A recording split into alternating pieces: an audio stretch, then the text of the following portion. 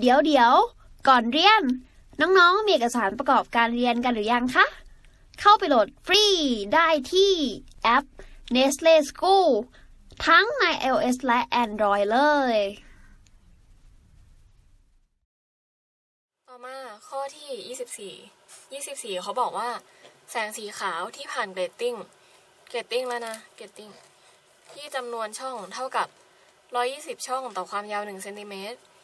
คือเนี้ยสุดท้ายที่พี่บอกว่าพูดถึงเรื่องเกี่ยวกับช่อง เราจะได้ดีเล็ก แต่ว่าต้องเทียบบัญญัติตายาง ถ้าต้องการให้แสงสีเขียว สีเขียว ความยาวคลื่น ให้แลมด้ามา 500 นาโนเมตร แทรกสอดห่างจากแถบสีขาว แถบขาวคืออะไรรู้เปล่า getting แถบขาวมันคือแถบกลางนั่นแหละ 0.6 เซน แสดงว่าเขาให้ x มา จะต้องวางฉากรับให้ห่างจาก grating อย่างน้อยเป็นระยะ อย่างน้อยด้วยนะ เป็นระยะกี่เซน แสดงว่าหา D ใหญ่ D ใหญ่ที่น้อยที่สุด แล้วก็อย่าลืมตอนจบถามว่าเซนติเมตร แต่ไม่น่ามีผลเนอะดูจาก choice ข้อนี้เขาพูดถึง grating แต่ว่าพี่มี พี่มี grating มีแนวกลาง มีฉาก ทีนี้เกตติ้งเขาก็จะมีแนวกลางใช่ไหม ตรงกลางเป็นแสงสีขาว พอไล่ไปปุ๊บ พอไล่ออกไปก็จะเป็น อันนี้พี่ทวนเฉยๆ ก็เป็นสีม่วง ไล่ไปจนถึงสีแดง ไปเรื่อยๆ ทีนี้เขาบอกว่า เขาต้องการความยาวคลื่นของแสงสีเขียวคือ 500 นาโนเมตร 500คูณ10กำลังลบ9เมตร พี่เทียบข้างบนแล้วกัน สมมติสีเขียวอยู่ตรงนี้ เขาต้องการหาสีเขียว เอ๊ะแล้วเขาถาม ถาม x หรือว่าถามเซต้าเขาบอกเขาถาม d ใหญ่ อ๋อเขาให้ x มา ให้ x เป็น 0.6เซนติเมตรเขาบอกว่าแสงสีเขียว มันห่างจากแถบสีขาวเนี่ย แถบสีขาวมันแปลว่าตรงกลางไง อันนี้เผื่อใครไม่รู้มันเป็นคอนเซปต์ ก็ จะเท่ากับ 0.6 ให้หน่วยมาเปล่าหวดหน่วยเซนติเมตร จะได้ว่า x เท่ากับ 0.6 คูณ 10กำลังลบ 2 ให้อะไรมาอีก เขาบอกว่า นี่ไงเราก็ต้องได้ d เล็ก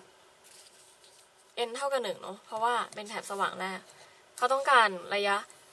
ไอให้ให้มันน้อยที่สุดยังไง มันก็ต้องเป็นระยะของแถบแรกนี่แหละ พี่เทียบบัญญัติตายางก่อน เพราะว่าเราต้องการหา d เล็ก เขาบอกว่า 120 ช่องต่อ 1 เซนติเมตร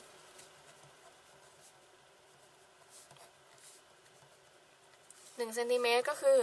10กำลังลบ2เมตร ดังนั้น 1 ช่องเทียบบัญญัติตายางก็จะได้ 10กำลังลบ2ส่วนด้วย 120 เมตร อันนี้คือค่าของ d เล็กจะได้ละ d เล็กเท่ากับ 10กำลังลบ2ส่วนด้วย 120 เมตร ทีนี้ก็สูตรเดิมๆเนาะ เกรดติ้ง การแทรกสอดมันจะมีสลิดคู่กับเกรดติ้ง ก็จะเป็นแถบสว่างเนาะ ก็จะเป็น dx ส่วน d เท่ากับ n แลมดาถ้าไม่ได้บอกอะไรมันก็ต้องเป็นแถบสว่างแหละ สายลุ้งเนี่ยก็คือแถบสว่าง dx ส่วน d เท่ากับ n แลมดาเราต้องการหา d เป็นเท่าไหร่ ที่เหลือเราได้หมดละ ก็แทนค่าเลย d เล็กพี่เป็น 10กำลังลบ2ส่วน 120 ที่เทียบบัญญัติตายาง คูณด้วย x x เป็นเท่าไหร่ x เป็น 0.6 คูณ 10กำลังลบ2ส่วน d ที่เราอยากรู้เท่ากับ n n เป็น 1แลมด้าเป็น 500 คูณ 10กำลังลบ9นี่เผื่อใครไม่ทันก็ คือค่าพวกนี้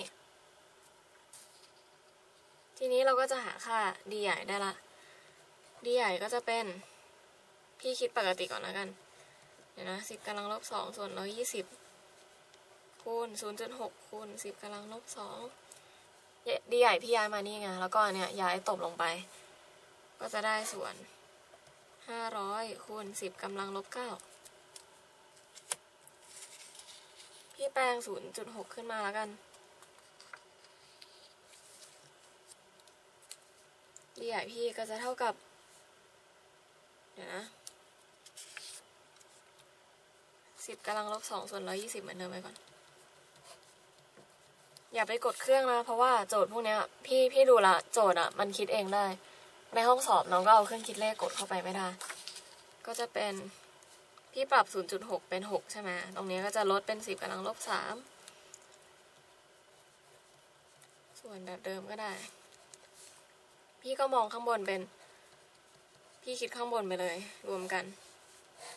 ส่วนได้เท่าไหร่ พี่คูณอันนี้12คูณ5เป็น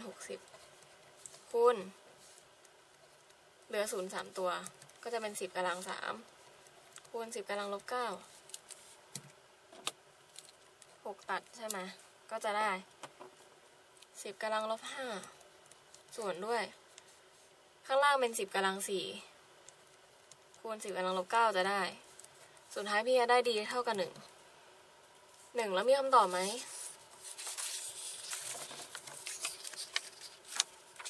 หนึ่งไม่มี เพราะว่าเขาถามระยะกี่เซนติเมตร แต่สิ่งที่พี่ได้คือหนึ่งเมตรหนึ่งเมตรมีร้อยเซนติเมตรดังนั้นหนึ่งร้อยก็จะเป็นคำตอบ ของข้อนี้ข้อนี้ก็จะตอบช้อยที่สี่ก็คือร้อยเซนติเมตรดังนั้นข้อนี้ก็สรุปให้ฟังว่าไม่มีอะไรเลยก็คือ วัดว่าให้อะไรมา แล้วก็แทนค่าหาคำตอบปกติเลย แล้วก็มีการเทียบก็เทียบบัญญัติตายางเพื่อหาดีเล็ก